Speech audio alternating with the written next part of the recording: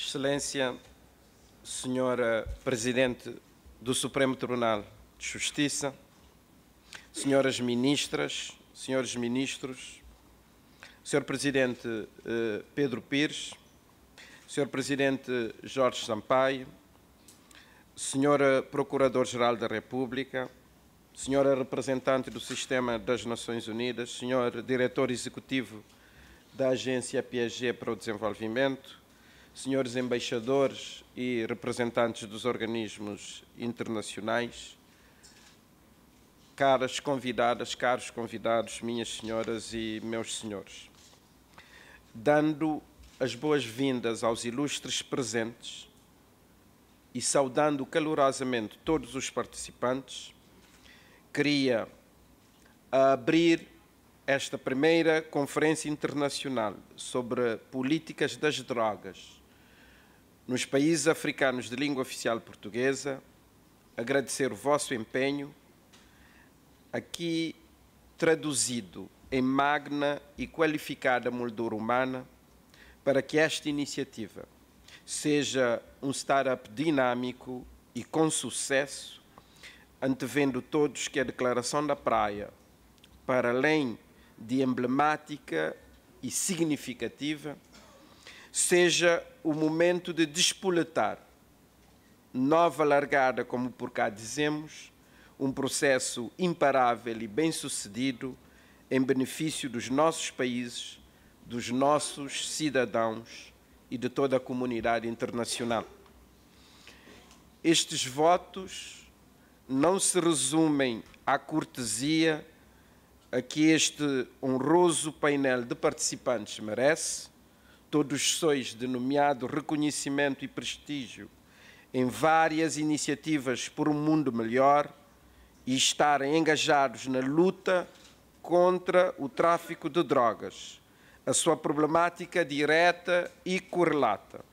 tanto a nível dos nossos países como a nível global, e disso prova, mas dizia, estes votos se alargam à emergência de termos uma convergência alargada a concitar parcerias e cooperações em várias instâncias, para que os países africanos de língua oficial portuguesa, hoje tão integrados, infelizmente, nas rotas e nos circuitos do tráfico internacional de drogas e dos ilícitos conectos, estejam mais aparelhados e sintonizados a gizar a questão global em todas as suas vertentes. Dizia há dias um historiador cabo-verdiano que os ilícitos, como a droga, descobriram desde cedo o comércio global e a sua dinâmica de há muito está globalizada, olhando para países como os nossos, enquanto pontos de escala e de entrepostos entre as várias origens e os múltiplos destinos. Assim sendo, faz sentido que o Plano Global de Luta e Prevenção contra as Drogas também considera os nossos países no centro da estratégia global, não só otimizando as vontades nacionais, capacitando suas estruturas de compreensão, combate e prevenção, como agregando valor de recursos e meios através de apoios efetivos e reforçando alianças para fechar o cerco à droga. Queremos também, nesta ocasião, perceber as várias dimensões subjacentes às ameaças de drogas, todo o impacto que as mesmas têm na vida das pessoas e das comunidades, aferindo custos humanos, sociais, económicos e outros, induzindo claramente fatores inibidores do desenvolvimento e de qualidade de vida dos nossos cidadãos. Quais os desafios de impacto na juventude, na família, no sistema educativo, no sistema de saúde, nas políticas sociais públicas e na estrutura socioeconómica. Queremos compreender o quanto indexado ao insucesso múltiplo e à esclerose social integrada estão as drogas nas suas ínfimas dimensões. Em verdade, queremos gizar as dimensões jurídicas, económicas, da educação e da saúde, no combate à pobreza e na exclusão social, para além da determinante dimensão política, já que nos compete, no quadro do respeito aos processos de cada país, aferir que nenhum elemento dos países africanos de língua oficial portuguesa seja um narco-estado.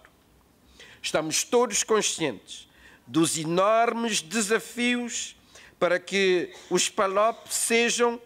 um free zone das drogas e dos seus múltiplos e complexos tentáculos. Por conseguinte, o espaço de reflexão que emerge desta primeira conferência internacional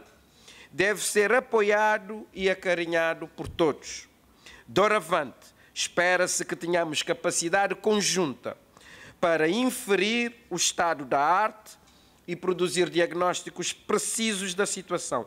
indicadores de estratégias mais concretas e mais eficazes, porque mais compreensíveis e científicas, da redução desta problemática. Que a declaração da praia assente em resultados e vetores que se orientem em partilhas sistemáticas e em rede de experiências, em plataformas de acesso a informações, em concertação das intervenções, em padronização de ações, quer policiais e judiciais, quer legislativas e procedimentais, para não falarmos de um, de um comitê permanente de juízes dos países africanos de língua oficial portuguesa, afetos à problemática, jurisprudência e impacto das drogas nas comunidades. Seja ainda este certame fórum certo de formulação de políticas exequíveis que permitam convergir governos, sociedades civis e parcerias internacionais para os novos compromissos e os crescentes desafios que as drogas, em sua complexidade macro e micro, de escala global e de dimensão local, nos vão impondo. Não descuramos das vertentes das novas práticas, inclusive das formas eficazes e humanistas, aliás, apanágio dos nossos países, hoje em processos de construção e consolidação do Estado de Direito Democrático. Tanto no combate ao tráfico de drogas, tanto no lidar com as consequências humanas e sociais, estarmos conscientes por um alinhamento à perspectiva da Comissão Global de Políticas sobre Drogas, chefiada pelo ilustre presidente, professor Dr. Fernando Henrique Cardoso, e participada por ilustres estadistas e especialistas aqui presentes, cujo prestígio dá garantia de sucesso à iniciativa merecedora da nossa adesão consequente. Enquanto Primeiro-Ministro de Cabo Verde, asseguro a todos que este país, como provam as suas decisões e ações recentes, quer no plano nacional, quer no plano internacional, será um parceiro útil e estratégico na luta contra as drogas. É nosso interesse e prioridades nacionais, sermos cada vez mais consequentes para que estas ilhas, o Atlântico Médio, a sub-região oeste africana e os países africanos de língua oficial portuguesa não, se, não componham a tal free zone. Temos vindo a conciliar a política de segurança aos recursos financeiros que a ela têm ser alocados para darmos combate aos fenómenos da internacionalização do terrorismo e da transnacionalização do crime organizado de que as drogas e suas problemáticas fazem parte.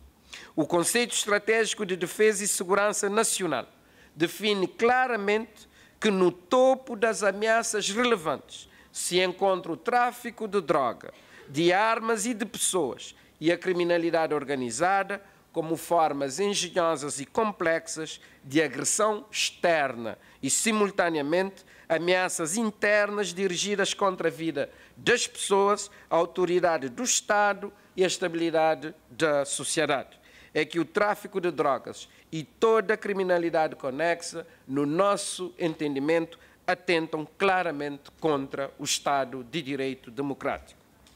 O desenvolvimento de uma estratégia global e integrada do Estado para combater esses males foi assumido por Cabo Verde como um desafio e uma prioridade com recurso a todas as medidas políticas, diplomáticas, económicas, financeiras, judiciais e militares. Face a esta realidade, temos hoje um novo paradigma da segurança ancorado na integração das forças e meios destinados à segurança externa e à segurança interna, visando o enfrentamento dessas novas ameaças e reconfigurando os órgãos de segurança externa e interna que abarcam as polícias, os serviços de informações e as forças armadas. Impõe-se-nos, para além do securitário,